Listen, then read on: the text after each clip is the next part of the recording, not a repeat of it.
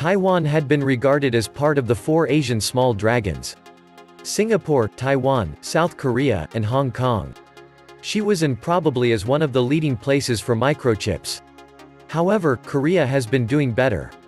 Everyone may know Samsung and LG for their mobile phones and tablets, but who knows Asus, which is one of the leading brands in computer peripherals and motherboards. Taiwan has become one of the wealthiest regions in Asia. However, experts say it still depends too heavily on Chinese trade. Taiwan began losing its roar in the 1990s, even as China's economy rose, eroding Taiwan's manufacturing competitiveness. Today, Taiwan has anemic growth, high cost of living, and rising youth unemployment. Many of its talented young are moving abroad, including to China and Singapore, for better work opportunities. Like Japan, the Taiwanese dollar was forced to appreciate against the US dollar. In the early 80s, it was about 1 US dollar to 60 new Taiwan dollar, it is 30 now. This has been affecting their exports. In order to solve the problem, like Japan, they moved their manufacturing to other countries.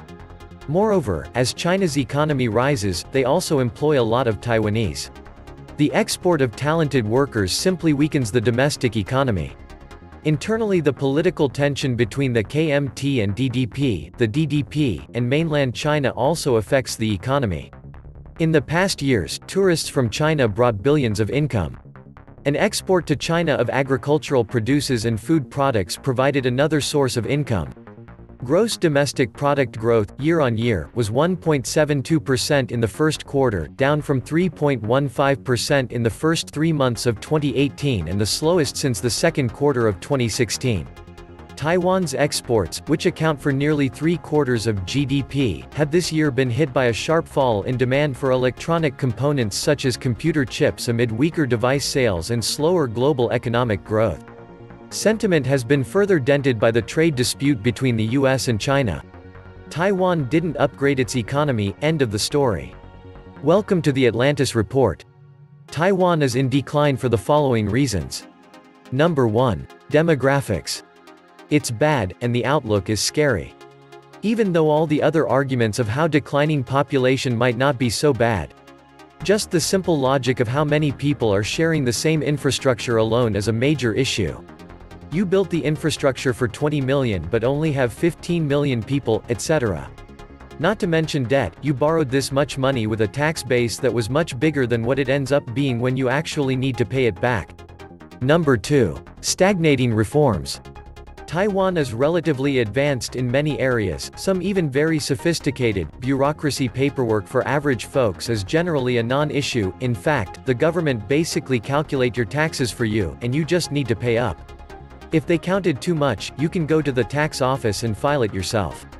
Number 3. Geopolitical future outlook It's not a secret that the unsettled past with Beijing is the primary concern and those have very real-world implications on the economy. As recently as 2008, the 21st century, a decade in, there wasn't even a direct flight between the two sides nor direct postal. Though the past decade saw a lot more opening on that front, it seems to be built on a foundation of sands that is slipping quickly. The geographic reality is that the economy almost certainly has to be quite interlinked with the PRC unless one or both sides choose to go to North Korea. With the new Cold War now basically baked into the cake, the guys caught in the middle are likely to be hurt the most. Number 4. The ugly politics that's getting worse and could go off the rails, while there's always messy politics and democracies, in general, is more messy. The modern issue where the internet and social media have quickly made things even more personal, and messier is as problematic in Taiwan, maybe even more so, than it is in the rest of the advanced democracies, mixed in with history and the situation with the PRC, there's a lot of room for demagogues to play around and certainly, both major parties are guilty of that to some extent. There have been close calls in the past such as 2004 when the eventual winning candidate had an assassination attempt against their life, the day before the vote, but was totally fine, and the shooter committed suicide and all his documents burned and said candidate won by less than 1% of the vote. Even in 2004, there were pretty serious clashes and violent protests due to that. If that happens today, it'll be much much worse. Number 5. Perverse incentives in general. Look, outside of the very small Aboriginal population, most people in Taiwan only showed up a few hundred years at best, many even more recent than that, many are from regions well known for migrations overseas. The reality is Taiwan has always been losing people to immigration, the current period is a relative calm period that could easily change in a few month or year, in the past they simply had way more babies than those that left and things were going up in general anyway so that was no big deal, if anything most of those that left probably lost out, but now that's no longer the case, it's a real problem, especially with this sort of democratic setup where quite frankly, most people only have a limited tolerance at certain point. They really might just pack up and to the West or China.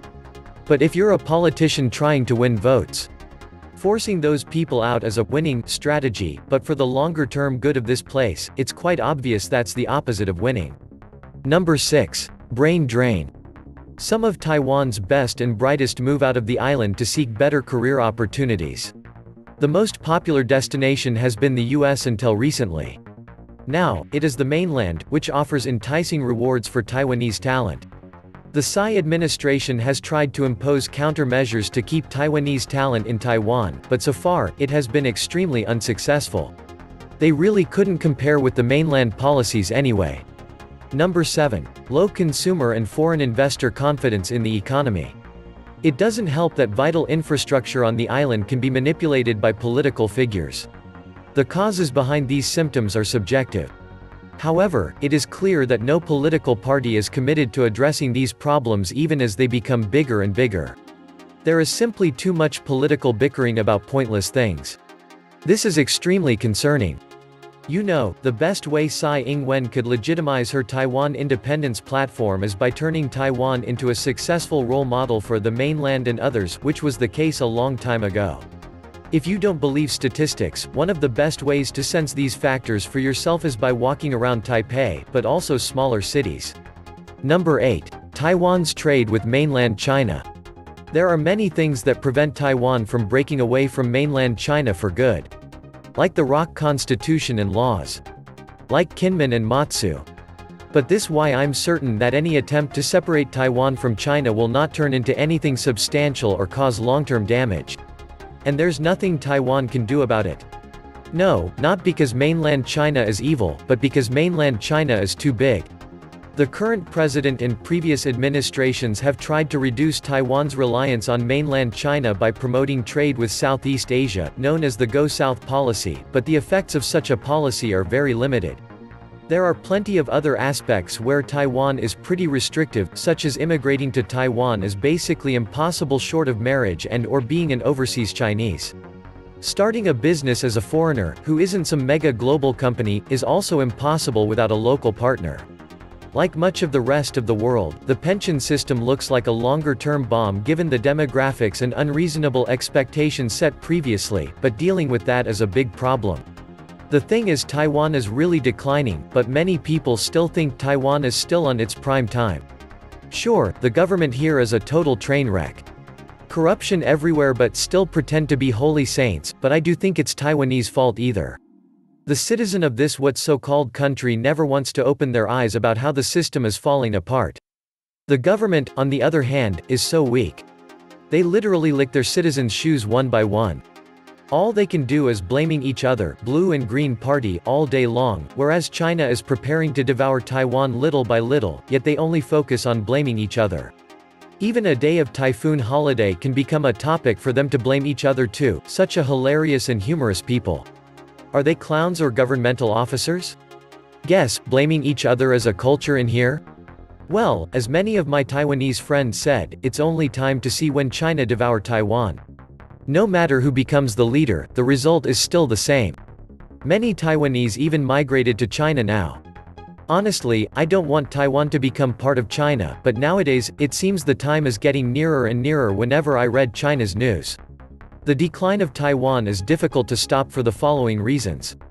1. There is no healthy startup culture and entrepreneurial spirit in Taiwan, it has not a single unicorn startup, out of the 254 unicorn companies in the world. China has 131, the USA has 76, Singapore has 3, South Korea has 2, Hong Kong has 2, just as a reference only 22 countries in the world have unicorn companies. Also, none of Taiwan's tech companies have even ventured into emerging industries like IoT or AI. 2. The political atmosphere in Taiwan is also unique. Everywhere else, the partisan divide usually is a disagreement of the economic model pro-social or pro-business.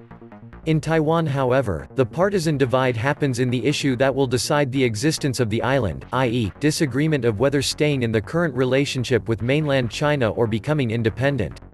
Due to this fundamental disagreement on the survival of the current regime in Taiwan, it has caused the two parties to oppose each other on every issue, no matter what. So in Taiwan, there is rarely any bipartisan support on any issues, which resulted in the toxic political environment. Opposing for the sake of opposing, constant political gridlock has narrowed the vision of their politicians. This was the Atlantis Report. Please like, share, and subscribe. Thank you.